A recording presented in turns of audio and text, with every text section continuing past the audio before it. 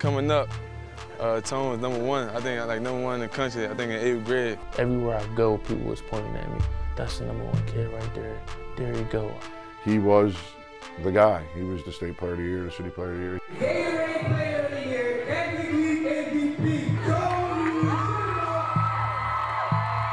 I just wanted to be the best basketball player I can be and take care of my family playing basketball in the NBA someday. Everyone in their lives is telling them, you gotta be an NBA player. But the reality is, maybe 1% make it. Teams from all over the country was calling for me to play for them. And that was my ticket. But it's what they do with that talent that really is the thing that's important. And, uh, and you generally find that out when things don't go exactly as planned. I think Tony's a great example of what real toughness is. He has family uh, uh, tragedies that would defeat most people. Just things like everything was just coming down on me at one time. So I had to figure out, yo, the NBA might not be for me no more. That's when you hit that reality.